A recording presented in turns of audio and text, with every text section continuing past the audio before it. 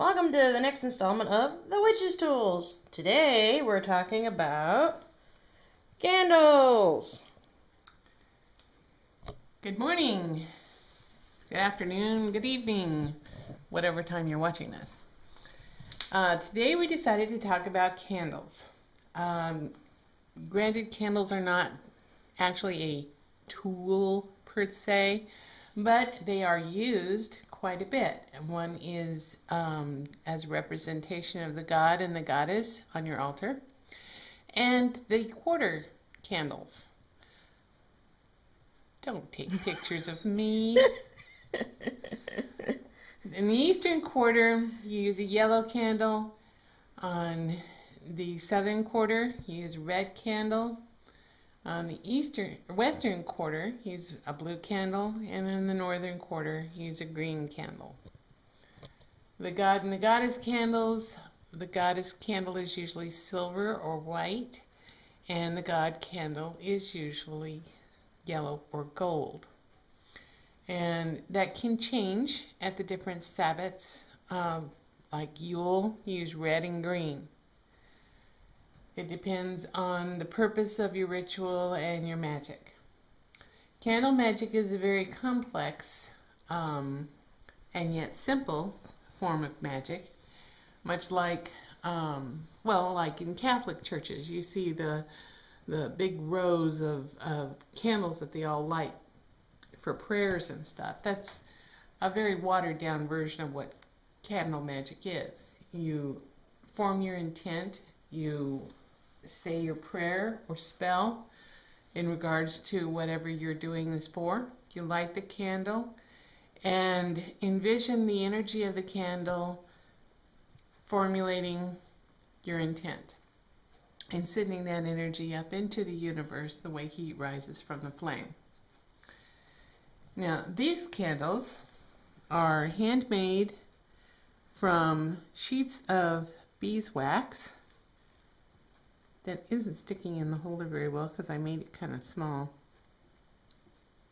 And this is the, the wax sheet that you can get at the store. You just cut or break off the size you want. And you don't need a whole lot. And then you take your wick and you put it in there and just roll it up. I'm not going to roll this one because it's a little, it's not warm enough. You need to warm them up to like 70 or 80 degrees.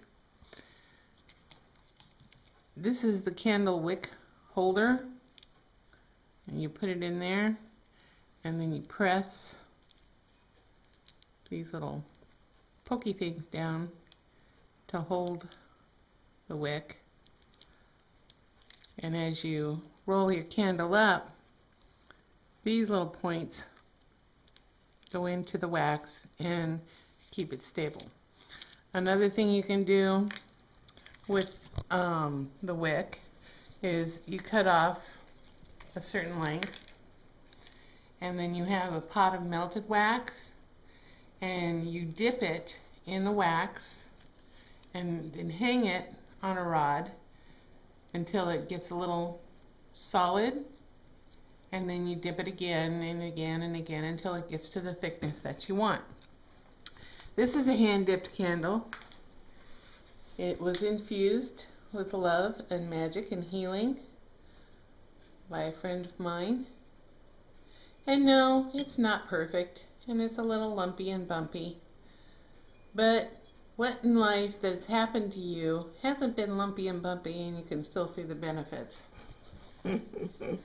These are store-bought candles. These are paraffin and um, they can be used for just pretty much the same thing you can with beeswax. Candles come in all shapes and sizes. This one is in a jar. This is a votive candle. The scented, I got it from um, PartyLite. Party Light, right. This is a votive candle I got from Walmart. Tea light. Yep, and this is for those who have little children or kids problems with fire. You it has a little switch on the bottom and you just flick it on and ta-da, candle. These also work quite well for dorm rooms where maybe you can't have an open flame, or like right now, a lot of the BLM land in this area has no Bernie fire zones up because of a really large fire. So this would be a perfect type of candle to take out if you were doing a ritual outside, Very good. and it won't blow out. Yes, that, that's a major problem around here with all the fire and stuff, or wind we've been having. This is my healing candle. I use it in my healing rituals. It's a three wick candle. I light it for mind, body, and spirit, and keep it lit while I'm doing my healing rituals. This is a candle that uh, we had lit from a candle that was lit from a candle from the Bridget, Bridget flame in Ireland. And this is my altar Akasha candle, the spirit and life of the, the god and goddess and the all. Those candles were supplied to us by Illusions Magical Arts. Look for them; they're on the page. Hi, Carla. this is a candle snuffer. And we use the candle snuffer to put out fires in candles because you don't eliminate one elemental element with another. You don't blow out candles because it ticks off the fire elementals, for one. And for two, dogs don't like to have their faces blown in either. um, the, snuffer can be any size or shape. This one is a little fairy one that I got from an online store. Uh, the the color of your candle can vary with magic. Um, brown is usually used for animals. Yellow is for seeking wisdom. Blue is for healing. Green is for money and growth. Um, red is for passion or love. So is pink. White is for purity and um, blessings. Black candles are used for banishing or releasing magic spells. And as far as candle holders go, they can be whimsical, like little hearts. They can just come with your normal tea light thing. They come in jars, all shapes and sizes, glass, metal, sometimes just a plate. It depends. What's important is that you observe rules of safety and common sense when you are using fire in your rituals. Be aware of your clothing. Long sleeves can catch fire very easily. And the wax, oil or grease or whatever is in your candle, when it's lit, is very volatile and flammable and can spread a fire very quickly. The best way to put out a fire like that quickly and without spreading it is by sprinkling it with baking soda. So it might be a good idea to keep a container of baking soda, like a big jar, underneath your altar for emergencies.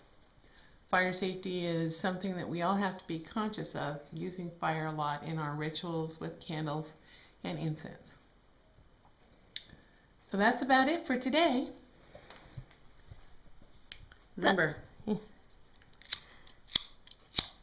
helps if you have a lighter that works. I think this this puppy's dead. There there we go. go. Okay.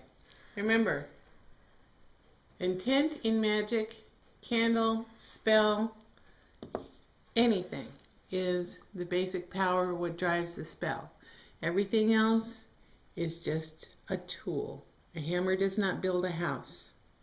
It's the architect and the dream behind it that builds the house. Thus endeth the lesson. Blessed be. Blessed be.